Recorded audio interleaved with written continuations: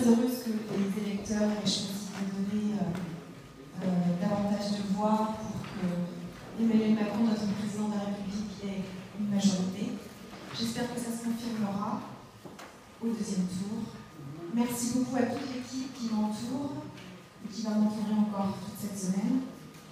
Merci aux candidats qui ont choisi de faire une campagne respectueuse et bienveillante. Et puis bonne soirée à tous. Rendez-vous dimanche.